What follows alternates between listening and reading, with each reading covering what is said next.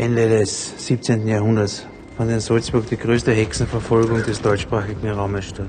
Mehr als 200 Jugendliche und Kinder wurden der Hexerei bezichtigt und hingerichtet. Die Mystik ist natürlich dadurch gegeben, dass ja auch Bezug genommen wird auf eine Sage.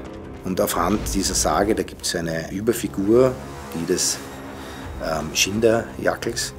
Endlich hatte die Kirche, was sie wollte, ne? Einen Schuldigen, den Teufel. Wie immer so von Menschen, die äh, gelebt haben, von denen äh, erzählt wurde, sie hätten einen Pakt mit dem Teufel, weil ja meistens entweder die Kirche dahinter, weil sie gesagt haben, äh, sie brauchen einen Sündenbock, oder aber sie haben Dinge getan, die ihrer Zeit voraus waren. Das heißt, es waren immer sonderbare Gestalten. Verehrt von seiner Gefolgschaft war er Beschützer und Lehrer. Doch alle anderen sagten ihm nach, er sei Herr über die schwarzen Kräfte der Welt. Auch in dem Fall weiß man nicht genau, und das weiß man ja bei vielen Sagen nicht, war dieser Schinderjakel eigentlich ein Guru oder ein Zauberer oder ein Schamane? Die Obrigkeit fürchtete seine Kräfte und jagte ihn und alle, die seinem Bund nahestanden.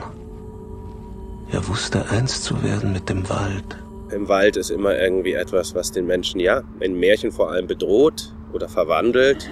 Man findet etwas im Wald, worauf man nicht gefasst ist. In der Weise, wie jetzt im Pass Sagen und Mythen vorkommen und was Menschen daraus nehmen, um ihr eigenes Handeln zu rechtfertigen, das finde ich doch eher beängstigend. Wehe demjenigen, der das Geheimnis oder seine Fähigkeiten verriet.